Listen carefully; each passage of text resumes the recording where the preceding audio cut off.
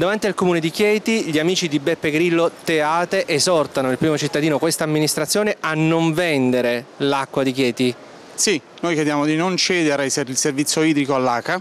eh, visto i, i, vari procedimenti in corso che ci sono e visto anche il, la positività della gestione del comune stesso. Co cosa dovrebbe fare in base alla legge regionale questo comune? Allora, dovrebbe cedere all'ERSI, che sarebbe l'ente regionale, e dopodiché la gestione diretta dovrebbe essere fatta dall'ACA. E visto che l'ACA non gode di buona eh, pubblicità e immagine di questi tempi e in considerazione che tutto sommato a Chieti non è che si paghi tanto la bolletta, il servizio è assolutamente discreto. Il servizio qui a Chieti è ottimo, perciò non vogliamo che i cittadini di Chieti si vadano a, a pagare quello che è stato causato da altri. E per evitare che questo accada ci sono altri esempi in questa regione? Certo che ci sono, c'è per esempio il sindaco di Guardia Grele che ha cercato, adesso ha presentato un esposto alla Procura della Repubblica proprio perché a Guardia Grele il eh, sindaco Salvi